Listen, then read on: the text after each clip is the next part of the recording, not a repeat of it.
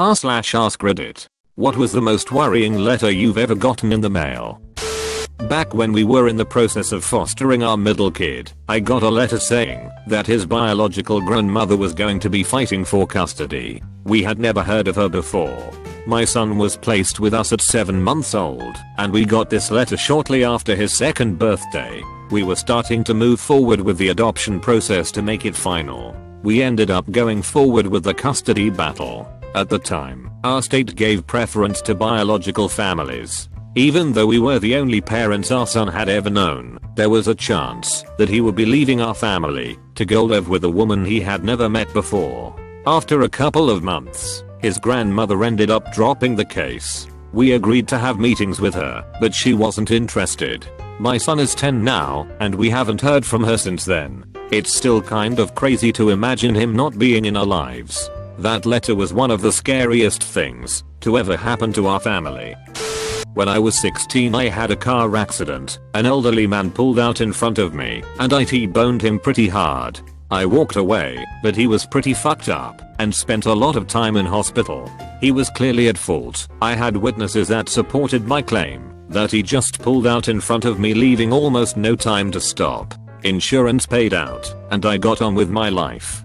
Three years later I received a letter from his lawyers claiming well over a million dollars in damages, outlining all the horrendous medical issues the gentleman had due to the accident. I was distraught and thought my life was over. Had visions of being dragged through the courts and of being portrayed as a monster, essentially what the letter suggested. I took the letter to a lawyer and she asked, did his insurance pay you out? Yet they had. Turns out that's an admission of guilt, and they had no case. She wrote a letter and I never heard another thing about it. I still feel bad for the old guy, who would almost certainly be dead by now. I feel terrible that his final years were spent in pain and in huge financial strain from all the medial procedures. But ultimately there was not a lot I could have done to avoid it. The letter from Prenda Law saying I was going to be prosecuted for downloading porn. Apparently legit legal firm.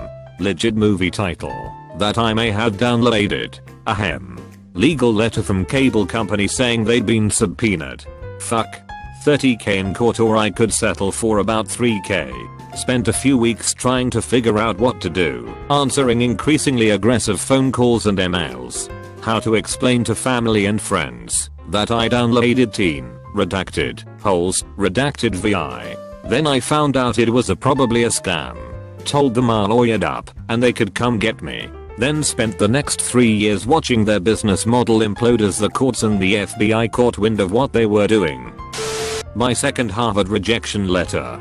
I thought they rejected me so hard they had to send two rejection letters to make their point.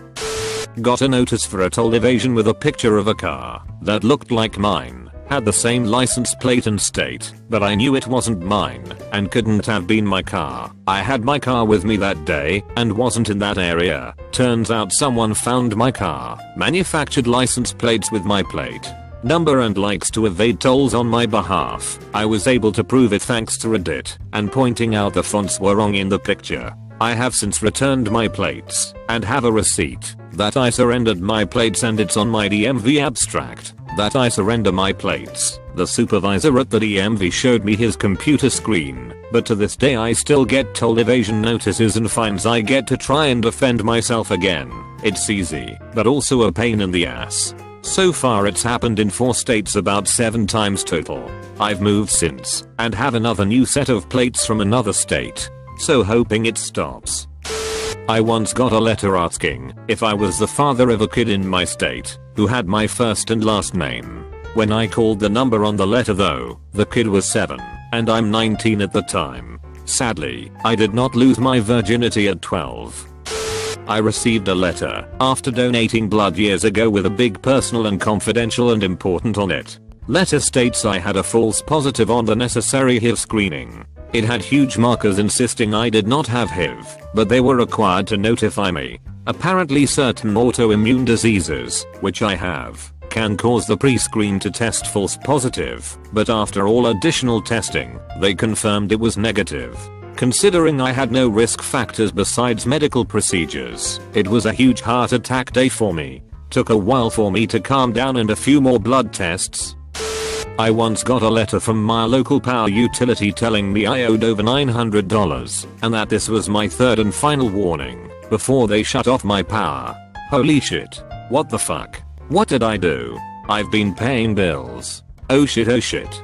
Then I read the address on the envelope. That's how I found out my neighbor was going into foreclosure. The mailman misdelivered mail and I just opened it assuming it was mine without ever reading the address on the envelope. The second most worrying was from the same power utility for a $700 bill in a single month alleging I used 3 months worth of gas in a single hour on a single random Tuesday afternoon. The meter was busted. I had to pay it while they investigated. But it was nice having no power bill for 3 months in a row once they decided that it was a mistake on their end. I'm BRCA1 positive, which long story short means my chances of developing breast cancer are 85% and I'll be getting a mastectomy at some point. However, because I'm only 22, they won't do any kind of scans or tests yet, which is fine, whatever. But I went to patient first sometime last year for bronchitis, and they did a chest ray. A week or two later, I got a letter in the mail that basically said, please give us a call immediately regarding the following test, chest ray. My first thought was that there was a lump or some kind of visible mass in my breast that they were able to see. Turns out they just wanted to tell me that the actual tech looked at my ray too and wanted to confirm that nothing was wrong. A letter from the Serbian army telling me that, now that I was of legal age I was to report for duty but then I remembered I'm a Canadian citizen and that they can suck it. But still was worried because I had a trip planned to Serbia and wasn't sure if they could just keep me there when I tried to leave.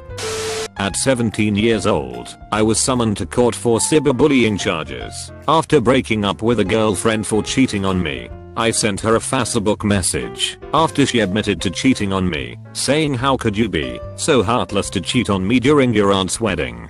I counter-pressed for the same charges, since I had a slew of messages from her where she was telling me how worthless I am, and how I should end my life. Poor girl wasn't expecting the judge to rule a restraining order in my favor that day. It all started after a week at a college in upstate Nye. I was up there with a friend for a concert, a concert that I don't remember. I got incredibly drunk as did my friends and none of us remembered anything. A week later I woke woken up by one of my parents who was tearing into me and wondering what happened one my little vacation. I claimed ignorance, and my parent pulled a letter out from behind their back that had the crest of said college as well as its name. As the message went on, I got more and more worried, but luckily the letter didn't go into detail. However, it did say that I'm banned for life from said college, and if I'm ever caught on their property again I will be subject to at least a $250 fine for trespassing. 10 years ago I received a handwritten letter without a return address.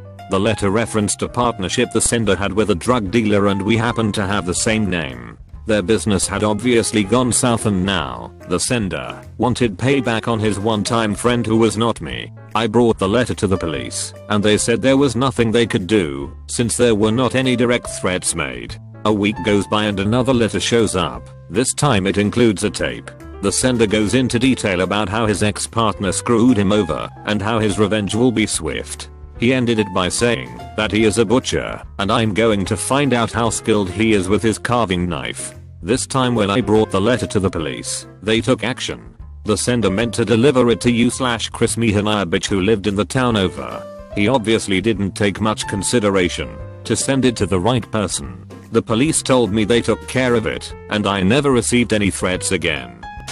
I received a letter of acceptance to a prestigious paid internship that would have seriously kickstarted my career. I cried. I told my parents. I went out to celebrate with my friends. A week later, I got a letter stating the first letter was an error and I hadn't been accepted after all. The thing is, I had kept my application a secret, so I wouldn't have to tell my friends and family the bad news if I didn't get in. Then after I told everybody, I had to tell them all that I was, in fact, a giant loser with no career.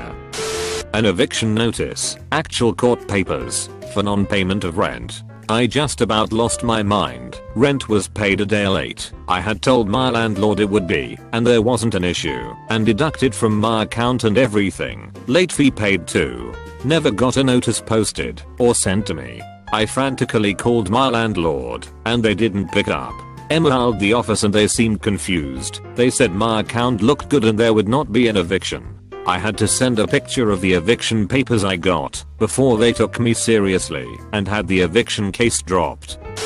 Apply for life insurance, and about 4 weeks later a letter showed up in the mail from them period. When I pulled it out of the envelope it indicated that I had tested positive for HIV.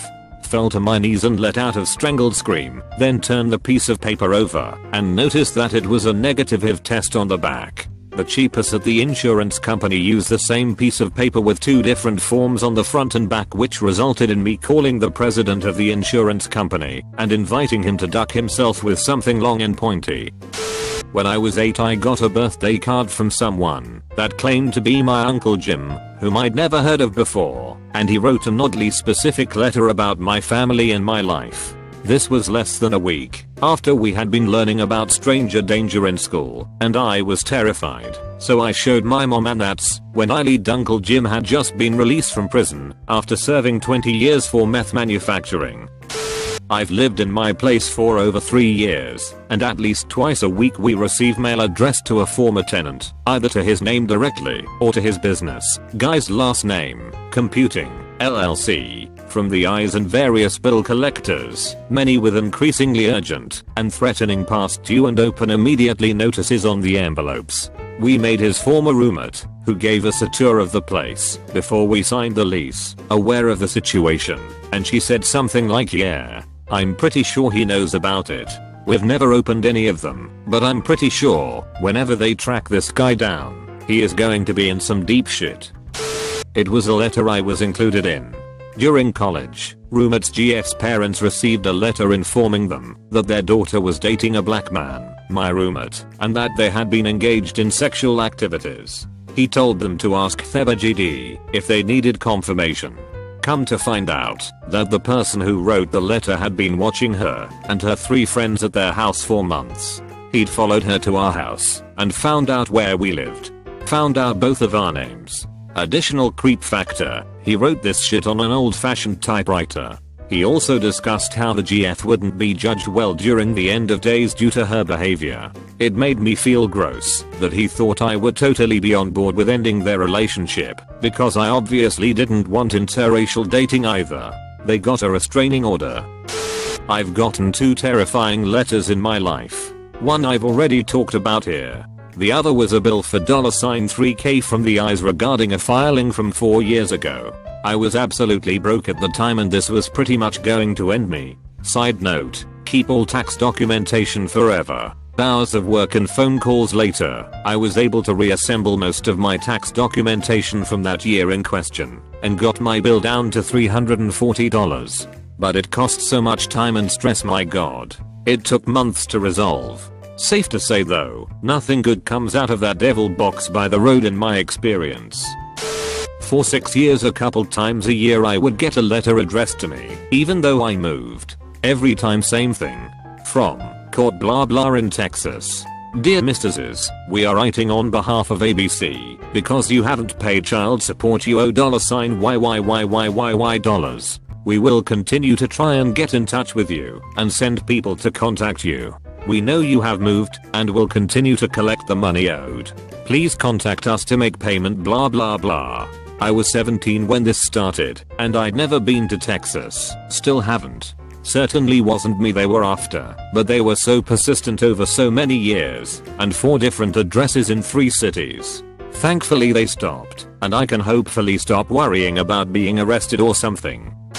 I was injured while working for a large shopping company and required surgery. Now, I was only a seasonal employee, so I knew I was not going to be able to return to work. I was still on workers' compensation, since it happened on the job. About two weeks in, I receive a letter from the company telling me I had been terminated. It turned out to be an automatic form letter that was not meant to go out to me, but I was planning to work for them again later in the year, seasonally again, so I was worried that I would not be able to be rehired. I once got a death threat. It was something straight out of a movie. All of the words were spelled out with magazine clippings, and it had pictures of dead people pasted all over it. It said something to the effect of I know everything. I will expose you, and then you will die. Needless to say, it scared the shit out of me. I picked up the phone to call the police when I suddenly realized that the envelope was actually addressed to my ex and was marked return to sender. Some medical lab sent me a $90 or so bill for a test I never asked for that was just labeled experimental therefore insurance wouldn't help me with it. I still had to pay it and to this day have no idea what it was for. All they would tell me was that it was because I wanted birth control. I blame the government being ridiculously unfair to us responsible ladies. Give us that shit like Advil. Goodness knows a population needs it. So preface, I've spent the past couple years trying to build some good credit and have made lots of progress. Well about 2 months ago I got a letter in the mail saying I owed the university I had attended a year ago. This letter was from a third party though, and my heart immediately sank. I thought I had squared away with them, but apparently there was some misc $100 balance that I didn't know about. I had something go to collections 10 years ago, and this letter looked dreadfully similar to the ones I got then. I immediately called my university begging for mercy. It turns out it wasn't a collection letter, my university just outsources paper billing on overdue accounts. I paid the balance off immediately.